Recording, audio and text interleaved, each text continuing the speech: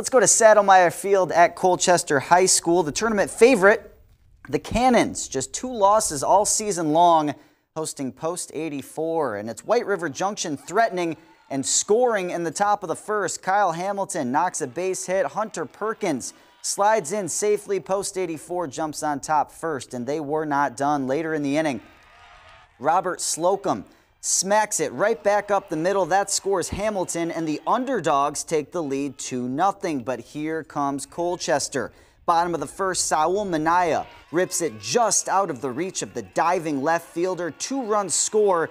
Just like that, we're tied up at two. In the second, Manaya up again, and again he delivers. Solid single up the gut of the defense, plates a pair. It's 5 2 Colchester.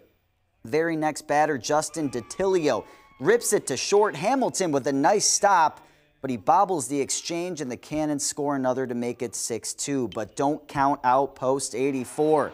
Down to their final out, Thomas Bisayon sneaks it past the shortstop, their third run of the inning, ties it up at six, and we head to extras. They play on all the way into the ninth. Man on second for Tyler Daniels, and he ends this thing with one swing of the bat. Base hit scores Michael Mansfield. It's a walk-off winner for the Cannons. Colchester takes the game 7 6.